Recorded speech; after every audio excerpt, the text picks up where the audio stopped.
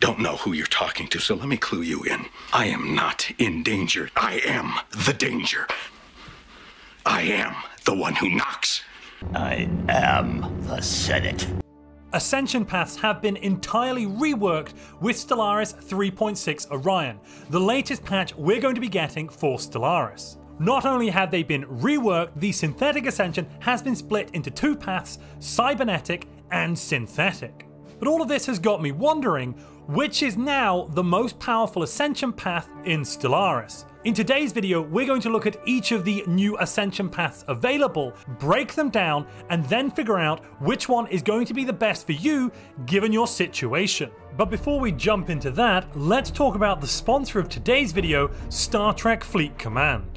Deep Space Nine is now coming to Star Trek Fleet Command. This new arc will offer something for everyone, with three new officers focused on ship survivability, new missions following the fantastic narrative of Deep Space Nine, and a new mechanic, Alliance Star Bases. You can finally add the epic Sisko, rare Kira, and rare Miles O'Brien to your crew. The first two of these officers will be useful in any armada, and the final one can only be used against Alliance Starbase armadas. You see, Alliance starbases are a physical embodiment of an alliance's strength.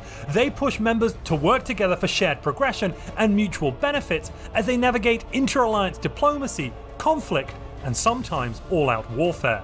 You can try out this brand new social feature on iOS, Android, and Windows. Take the con and journey through the wormhole with me in Star Trek Fleet Command. The first ascension path we'll look at is the synthetic ascension path. Before patch 3.6, this was traditionally looked at as the most powerful ascension path over a long enough period of time. To recap on why that was, basically we used to be able to get the most pops and the best pops, though it did come somewhat later than some of the other ascensions like the genetic ascension or the psionic ascension. As of patch 3.6, in order to unlock synthetic evolution, you will need to complete the synthetic technology. This gives you synthetic workers, basically robots that can live at any strata except ruler jobs unless you have full AI rights, and an additional 10% robot output empire wide. Once we have that and enough unity, we can then start completing the synthetic tradition. One of the first tradition picks is the synthetic age, which will allow you to unlock a special project and upgrade all of your biological citizens into synthetics. Once you've ascended your population, you'll then get access to all of the machine traits that you can then mod into your pops. Not only that, you'll be getting a whole host of other bonuses from the tradition and your technologies because you're now robots. Just like before patch 3.6, once you switch over your population to synthetic, you'll get a whole bunch of pop assembly building lots of these synthetic robots, and you'll want to make sure you've still got some biological pops in your Empire too, so that you can benefit from bio pop growth as well.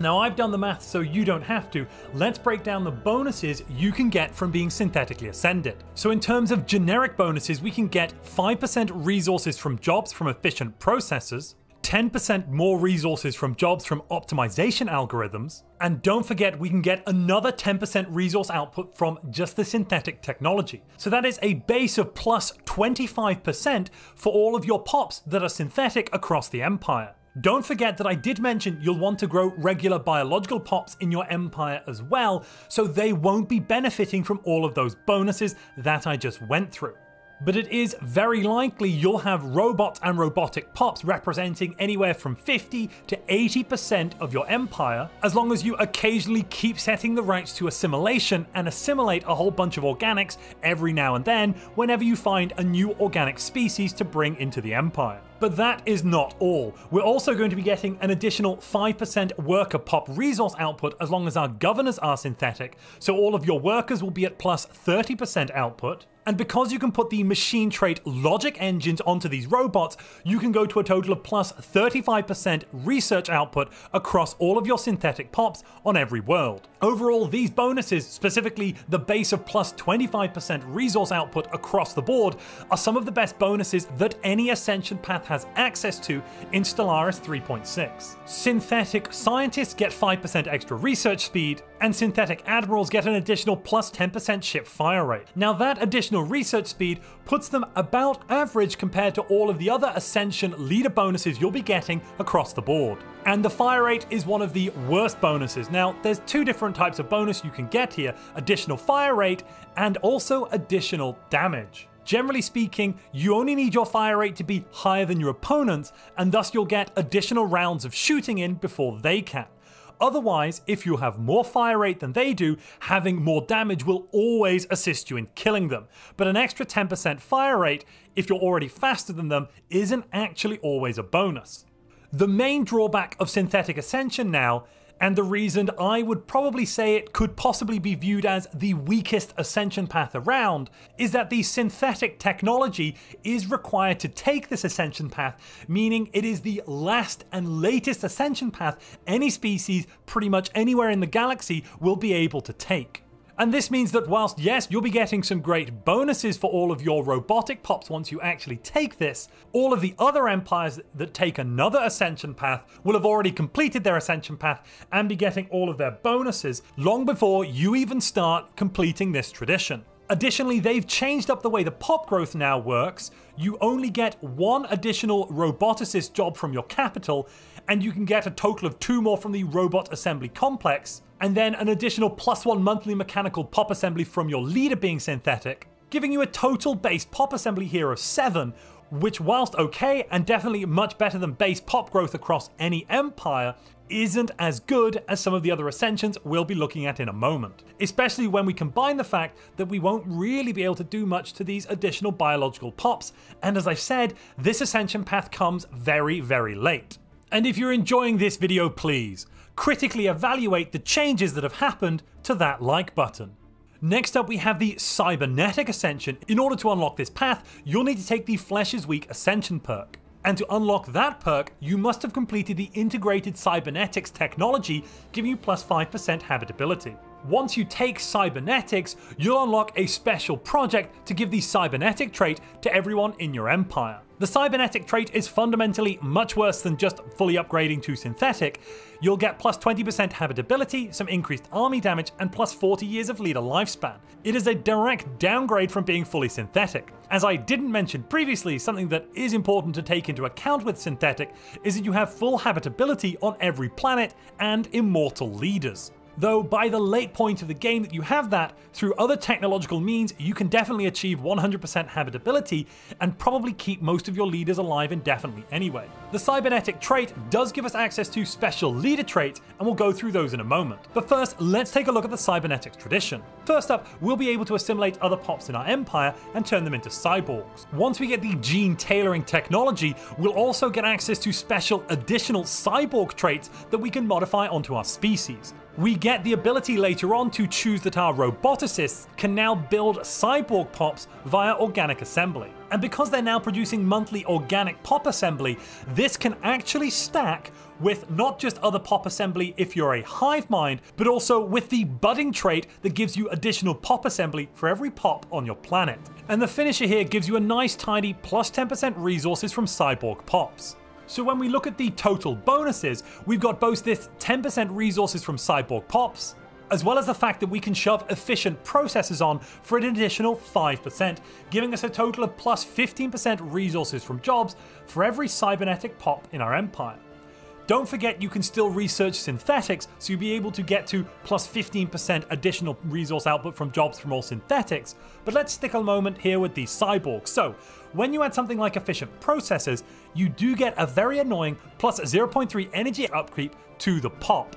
That will be mitigated by the fact that your cybernetic governors have possibly the worst trait around, giving them minus 10% pop upkeep and you get an additional minus 10% cyborg upkeep from metabolic reprocessing. But even then, efficient processors might actually be a bit too expensive to justify taking it from an energy credit perspective all of the time. Now, if you're just trying to push out extra alloys and you can afford it, absolutely it does become a no-brainer, but I think that these additional cyborg traits are rather expensive. Now, of course, we also have a special technology, and that is quantum neurolinks. This gets unlocked and given as a research option when we take the Cybernetics Ascension perk. This will give us an additional plus 5% specialist pop resource output, meaning that all of our specialist cyborg pops will be getting plus 20% resource output. Overall, the bonuses we're getting here from our cybernetic species and our synthetic species are net lower than the bonuses we would be getting if we had just fully synthetically ascended. But depending on the balance of biological to synthetic pops in your empire, it could be that they roughly even out, because the synthetically ascended empire will be getting no additional bonuses for their normie biopops. When it comes to pop assembly and pop growth, you will end up with lower pop assembly and therefore a combined lower pop growth when we add in regular pop growth and pop assembly than the synthetic ascension. But you can get this so much earlier because the technology required to Take the Flesh is Weak Ascension perk is a very early technology to get, so cybernetic ascension can happen decades before a full synthetic ascension. For that reason, I actually place cybernetic now as slightly more powerful than synthetic ascension. So far, I've put the old Titan in fourth place, Synthetic Ascension, and Cybernetic in third place. All that is left is Biological and Psionic Ascension. Let's discuss which of those is actually the best. The final two ascensions are very interesting when we compare them to the others because they both have an origin that basically fast tracks the ascension process and in some cases means it's pretty much unlocked right from the very start. So the Psionic Ascension has Teachers of the Shroud, which basically blocks you into the Psionic Ascension path. You gain Latent Psionic at the start of the game, and in essence, you don't have to take the Mind Over Matter Ascension perk to begin taking the Psionic Ascension tradition. Then there is Overtuned. Overtuned is available to any empire that is not a machine intelligence, and this one doesn't specifically lock you into genetic ascension, although because it gives you the gene tailoring technology right from the start of the game, you'll be able to unlock the genetic ascension ascension perk from your second ascension perk, meaning your third tradition can be the genetic ascension tradition. It is briefly worth mentioning there is an origin mechanist, which in some ways is a version of a cybernetic or synthetic ascension as an origin, Although this is so drastically underpowered compared to the other two, it does not guarantee you any research options, it does not put you on a fast track really, except for giving you the first robotics technology and some robots right from the start of the game. Yes, if you complete Synthetic or Cybernetic Ascension, you'll get these great bonuses like plus 15% mechanical pop assembly speed and plus 1 mechanical species trait picks, but that is just a bonus for the end of the path, not really for the beginning. So let's start by looking at the genetic ascension. In order to go down the biological ascension path, you'll need to take the Engineered Evolution Ascension perk. That ascension perk becomes available once we have the gene tailoring technology. As you can see, for any empire which takes Overtuned, because you start with the gene tailoring technology, there are no RNG elements now, you will simply be able, once you have unlocked one other ascension perk, to take Engineered Evolution as your second ascension perk. Engineered Evolution lets you build clone vats which add biological pop assembly, and like Cybernetic Ascension, it is one of the only two ascension paths available to a Hivemind Empire. Going down the right hand side here, clone vats will first produce more additional organic pop assembly, as well as reducing the cost of modifying species special project. The Modify Species Special project is the main benefit of Genetic Ascension, as we're going to unlock the ability to not only remove beneficial traits and add detrimental traits, as well as adding beneficial traits, but also getting more modification points and more organic species trait picks, while finally getting the rare transgenesis technologies by completing this path. From a resource output perspective, the best traits you're really going to be fitting on these pops are Robust, giving you 5% resources from jobs, and basically giving you maximum habitability when you stack this with other techs and the ability to change planet preference. Erudite, giving you not only leader traits, but also plus 20% physics, society, and engineering research. And finally, Natural Machinist, a new trait giving you plus 10% alloys from jobs and plus 10% consumer goods from jobs. That additional alloy output from jobs is really, really good though. So overall, we don't really get any special bonuses for our resource output other than these traits. So basic resource output from jobs is pretty much the worst here of any ascension path by giving you only plus 5%. That scales up to 15% for alloys and a whopping 30% for research, as the erudite trait gives you an extra 5% research output from your jobs for a total additional research output of 30%.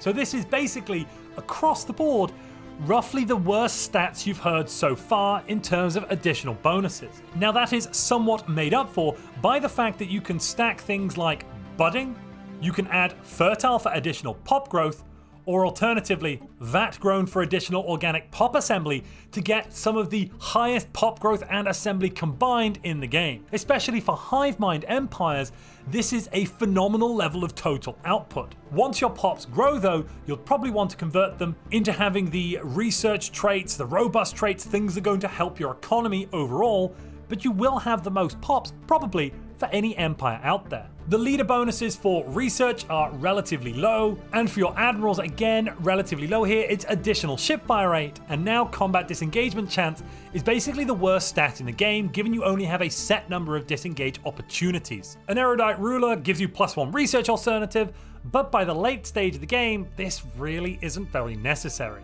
So, Genetic Ascension is probably the second fastest ascension around now, especially if you go with the overtuned Origin. In fact, if you go with overtuned Origin, that is when the Genetic Ascension probably becomes the best because you can not only add those fantastic genetic endline technology traits in, but you can also add the overtuned traits in, which are carbon copies of the endgame traits. We can get pre-planned growth along with Fertile for plus 60% pop growth speed, we can get elevated synapses, augmented intelligence, and erudite together for a total of 50% additional research output from jobs. When we combine that with something like robust and the governor trait, you're going to be getting an additional 60% research output in your empire, which is now starting to get really, really high. Before I make a judgment call on what I think the best ascension path is, let me know your prediction down in the comments below. But without any further ado, let's move on to the final ascension path, and that is the Psionic Ascension.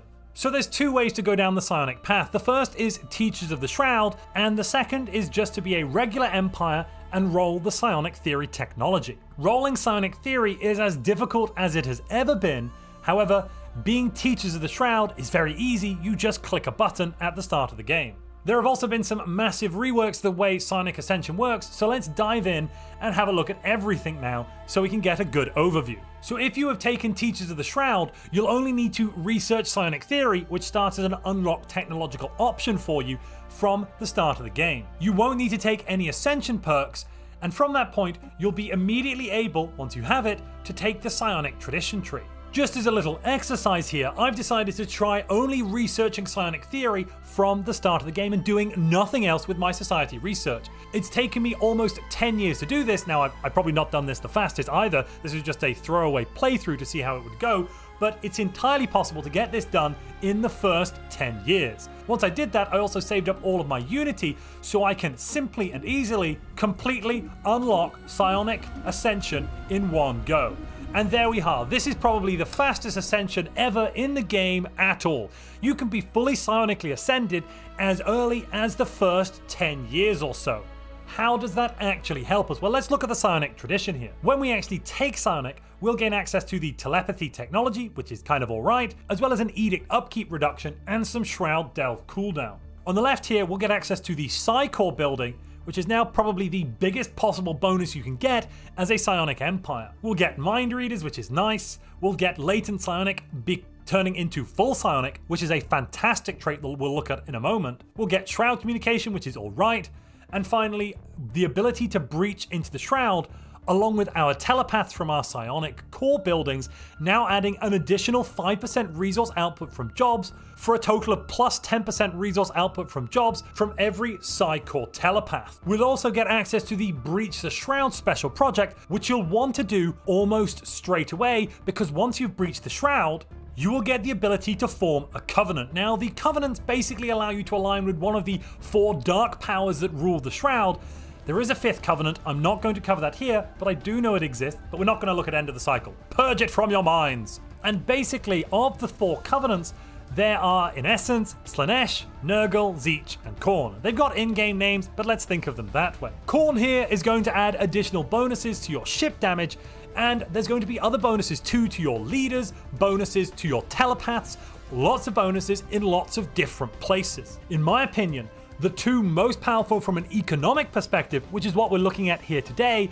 is neither Khorne or Tzeentch, but instead Nurgle or Slaanesh. That is the composer of strands for Nurgle and the instrument of desire for Slaanesh. Now they're the best partly because their covenants are fantastic. The upgraded covenant for Nurgle gives you plus 20% pop growth speed, and the upgraded covenant for Slaanesh just gives you a flat plus 10% resources from jobs, which is really, really good. Let's start looking at what happens when we combine these bonuses. So, the first bonus you will always get is the psionic bonus here. That's from having the psionic trait.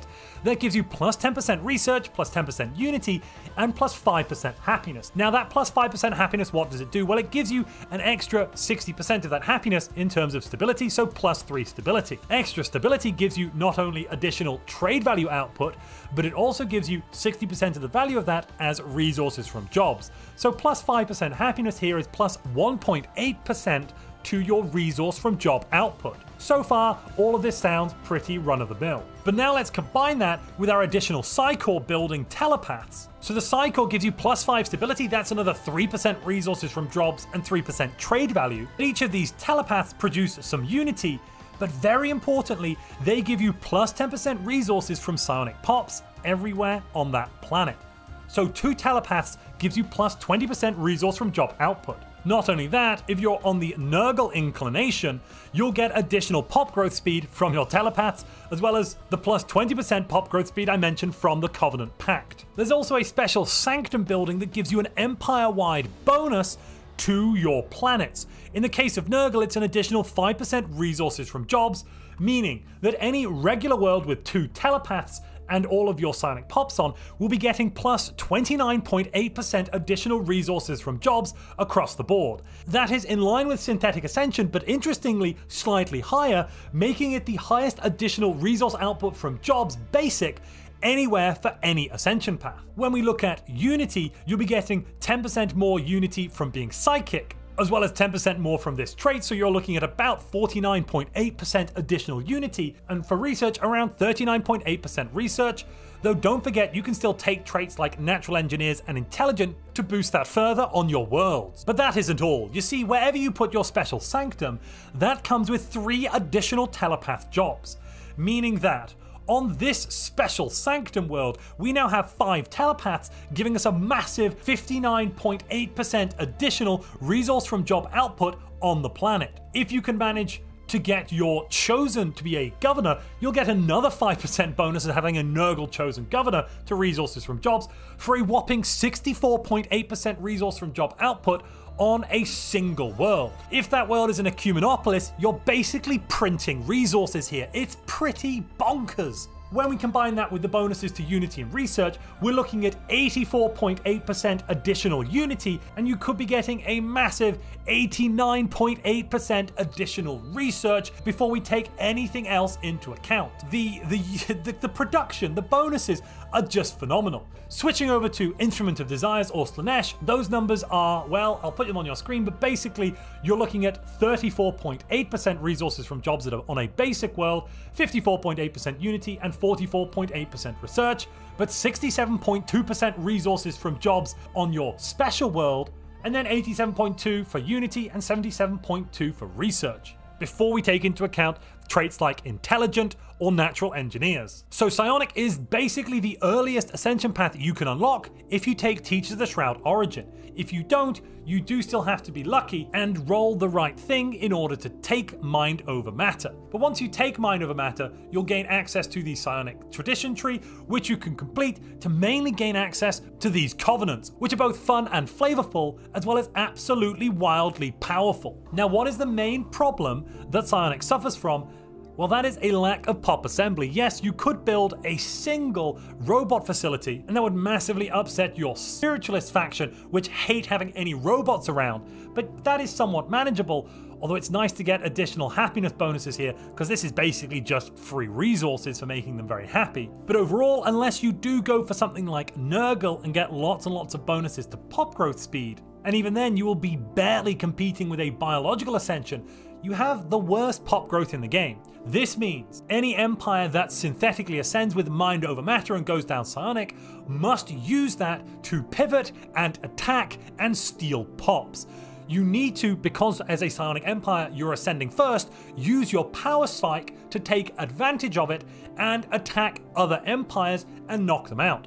If another Empire hasn't ascended before you, you'll be getting lots of nice bonuses. I also haven't even bothered mentioning the fact that you'll be getting a whopping 10% research speed from the Psychic Pops, making it the best additional researcher trait in the game, as well as 10% ship's weapon damage and 10% shield hardening, the best hardening type. This means that I think Psychic leaders are pretty much the best leaders in the game, though second best when it comes to Admirals, slightly behind Cybernetic.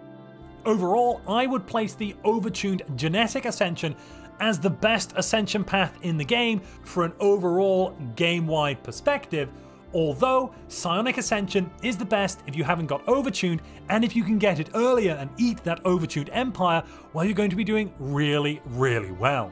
Following genetic, it probably goes cybernetic and then synthetic because of, again, the time that you take to unlock these does have a major impact on the gameplay. Just in terms of raw numbers here, when we ignore pop growth, psionic is the best, it then becomes synthetic, with finally cybernetic and biological being somewhat the worst. Though you have overtune, both the cybernetic and biological ascension paths will be definitely buffed. Machines have to take synthetic, and I definitely recommend they do that. And finally, for Hivemind Empires, I would generally recommend you go with the Genetic Ascension, that way you'll get access to clone vats, because as a Hivemind, you'll just get plus 2 augmentation drone jobs from spawning pools, which is an additional plus 1.5 monthly organic pop assembly net. This means your pop assembly will be much, much better if you go down the genetic path rather than the cybernetic path for hive-mind Empires. And that's not even before we look at the better traits available if you're a hive mind biologically ascended empire. An important and fun little thing to note here as well, I'll just tack on at the end. Trading algorithms is now available to all synthetic empires, or that is machinely ascended empires, and all cybernetic empires to put into their cybernetic pops. If we add this trait in, we can combine it with the thrifty trait, which means that cybernetically ascended empires are the best empires in the game at producing trade value. That's something to bear in mind if you're a trade value build empire, and could be a good enough reason to cybernetically ascend. Of course, none of this has been released live, though we're in the final days before the open beta moves from open beta stage to a full live release. Once we get to that live release point, we'll see if anything has changed. I'm expecting there may be one or two minor modifications, but I'm hoping the major changes are now behind us, and that's why I've brought this video to you. Let me know your thoughts on the Ascension paths and which one you think is the best down in the comments below. If you've enjoyed this video on the new 3.6 update and you'd like to know my thoughts on the combat rebalance, as well as what I believe will be the new meta as of patch 3.6, click the video on screen now.